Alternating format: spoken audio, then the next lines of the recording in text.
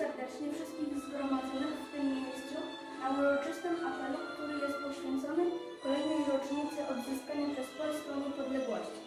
Dzień 11 listopada 1918 roku to szczególna data w polskiej historii.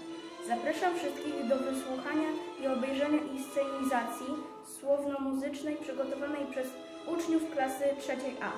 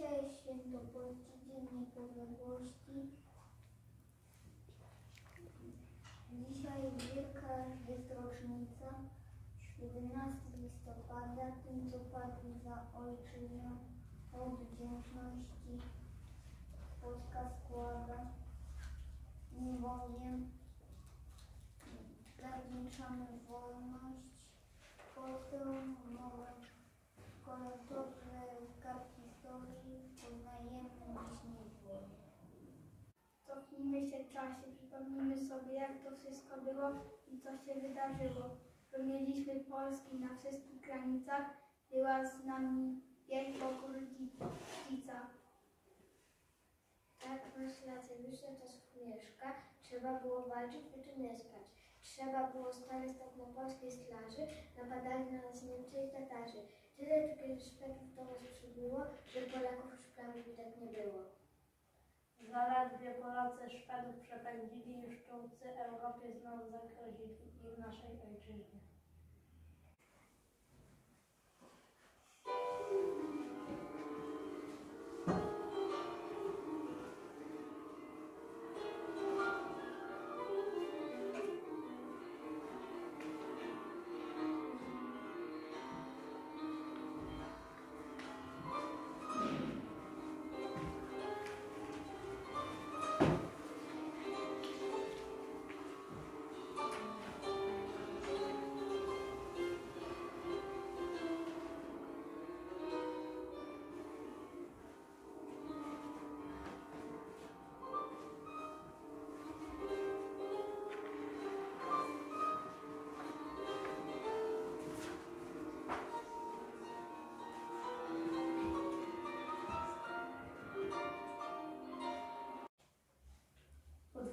Pierwszych rozbiorach w roku 1772 i 1793 Polacy czynili ogromne wysiłki, aby przywrócić ojczyźnie wolność.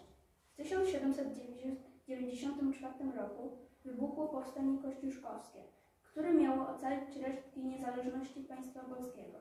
Niestety poświęcenie Polaków było daremne. Był to gest rozpaczy bez szans na sukces. Kto mógł wówczas pokonać Rosję i Prusy? Kostumierze Kościuszki, gdzie idziesz z tą kosą? Przecież żniwa się skończyły. Do naczelnika idę, bo wieści się niosą, że znów będziemy walczyć dla ojczyzny miły. Gdzie twój mundur i szabla? Cóż za żołnierz z ciebie? Masz na głowie krakowska, na grzbiecie sudmana, jakże ty możesz ojczyzny w potrzebie? Nie trzam jej poletów, szabelki i zbroju. Tylko kosą macham, lecz macham zuchwale. Kosy nosi kostucha, każdy się jej boi.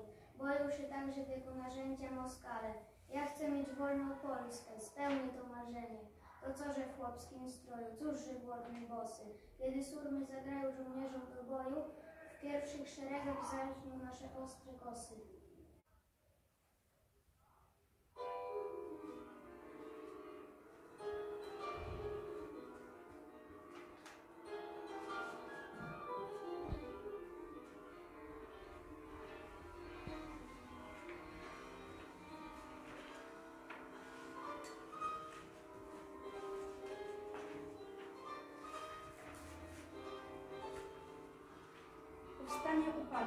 Waleczność kosynierów nie mogła przesądzić o jego zwycięstwie. W 1795 roku państwa zaborcze Rosja, Austria i Prusy dokonują ostatniego rozbioru Polski. Na początku XIX wieku Napoleon Bonaparte, cesarz Francuzów, rusza na podbój Europy.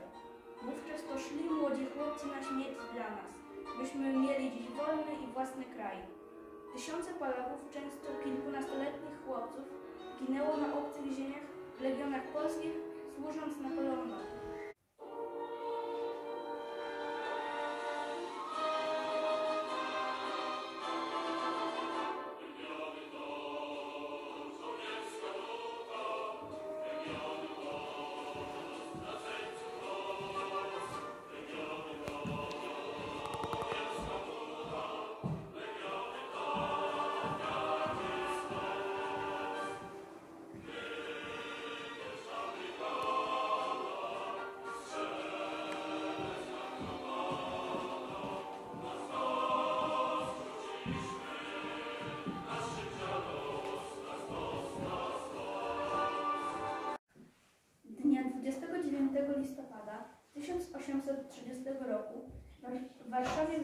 Powstanie przygotowane przez żołnierzy ze szkoły podchorążych pod dowództwem Piotra Wysockiego. Powstanie rozpoczyna się od nieudanego zamachu na życie namiestnika Rosji w Królestwie Polskim, wielkiego księcia Konstantego. Powstanie zakończy się klęską, choć będzie trwało ponad rok. Szeleszczą liście na alejach parków w Belwederze. Drzew ramiona się skryły w gęstniejącym mroku. Wielki książę Konstanty nudzi siedzi szczerze, lecz nie lubi przed oknem na park swój widoku. Ta polska jesień dziwna, tak pełna tajemnic, jakieś zjawy w ciemnościach wiatru zawodzenia. Najlepiej nie oglądać parku, gdy się ściemni, bo kryją w swym gąszczu jakieś zagrożenie. Listopad dla Polaków niebezpieczna pora. Ludzie są rozdrażnieni, z rąkiem wszystko leci. Skłonni są do nagłych kłótni, tak jak choćby w Tak jak choćby wczoraj tam w szkole podkrążnych, tak jak kadeci. Wciąż ta wrogość w spojrzeniach, nieżyczliwość twarzy. Ech, nie swoje jest bratu na warszawskim stolcu. Jakaś łuna za oknem, ogień się rozjarzył. Pokojowiec melduje, to pożar na solcu. Po upadku powstania listopadowego wielu jego uczestników wywieziono na Sybir. Inni masowo opuszczali kraj, udając się na emigrację. Największym skupiskiem emigrantów stała się Francja, gdzie znaleźli schronienie Adam Mickiewicz, Juliusz Słowacki, Fryderyk Chopin i inni wielcy Polacy. Litwo, ojczyzno moja, powrócić nie mogę, bo w daleko od Ciebie odjechałem drogę. Gdzie Twoich puszcz zielonych świeżość zapomniana, tutaj lasek wloński, trudna sekwana. I z parę migrantów wieczne narzekanie na fakt, że nie udało się tam to powstanie. Aby Twój wizerunek ojczyzno zachować, we wspomnieniach chcę to, co chcę. I tak Twa uroda nie ustanie wzrusza, że właśnie napisałem pana Tadeusza. Litwo, ojczyzno moja, Ty jesteś jak zdrowie, ile Cię trzeba cenić, ten tylko się. To Cię stracił, dziś piękność Twą w całej ozdobie. Widzę, by opisuje, bo tęsknię po Tobie.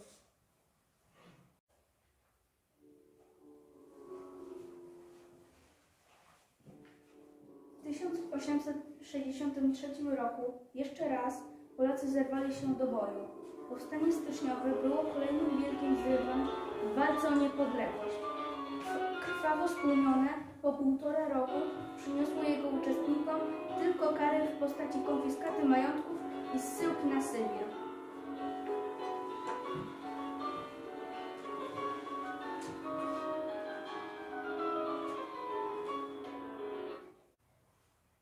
Wśród styczniowej nocy w kuźni słychać głosy. Zanim wstanie ranek, kuć trzeba nam kosy. Chociaż słaba była sztuka fotografii, Artur Grotger fakty uwiecznić potrafił. Popatrz na tę bramkę w powstańczym Agnewie, kto realistycznie tak malować umie.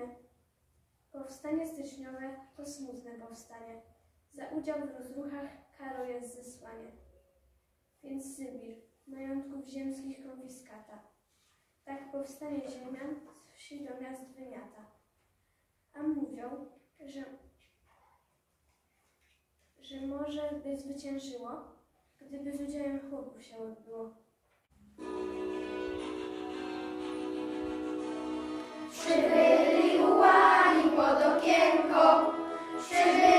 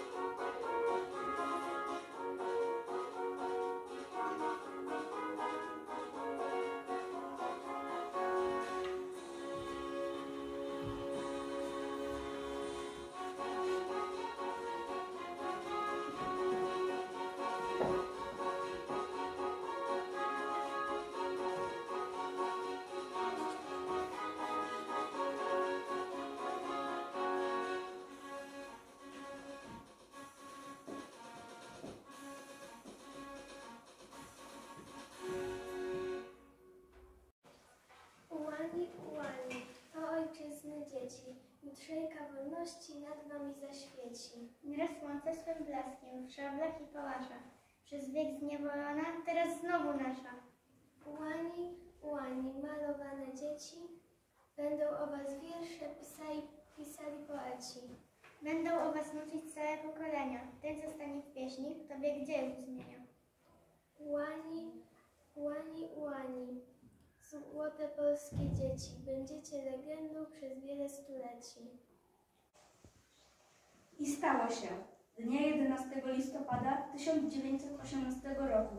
Pod Paryżem Niemcy podpisali kapitulację, która zakończyła I wojnę światową. Tego samego dnia Polacy mogli cieszyć się z odzyskanej niepodległości wraz z człowiekiem, który najbardziej się do tego przyczynił, czyli Józefem Piłsudskim. Przez długie 123 lata nie było nas na mapie świata. Tak jak to mówią dorośli, nie było niepodległości. Co to jest niepodległość? Teraz już wiem na pewno. Każde dziecko już woła, to polski dom i szkoła.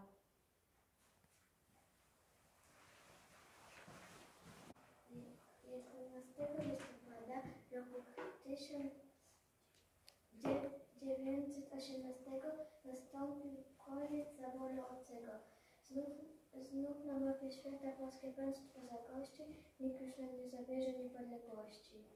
Ojczyzna wolna, znowu wolna, tak bije serce, huczą skronie, dziś wolności kanonada.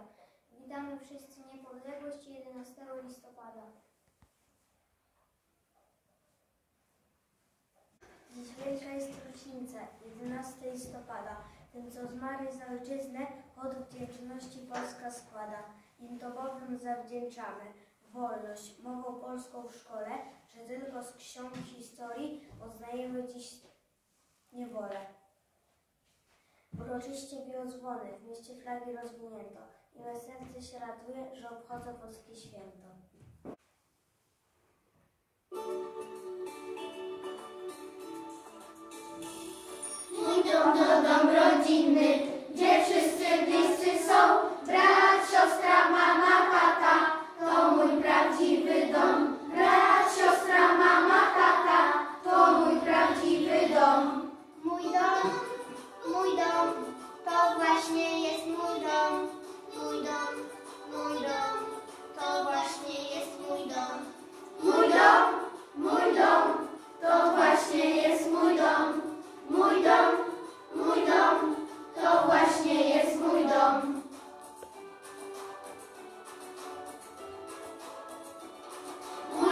idą do szkoła, gdzie dzieci razem są.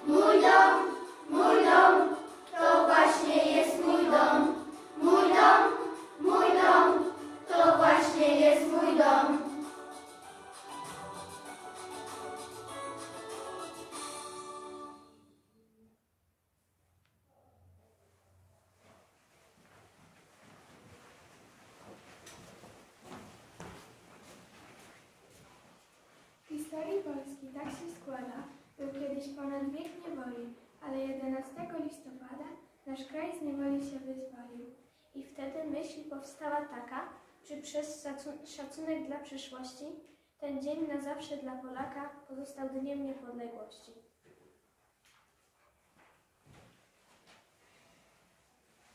Ten dzień i walki z tego okresu wspominają i rekonstruują panowie ze Stowarzyszenia Ochotniczego Szwadronu Jazdy imienia pierwszego Pułku Łanów Krychowickich w Lublinie, których fragment defilady widzieliśmy. Dziękuję wszystkim za uwagę.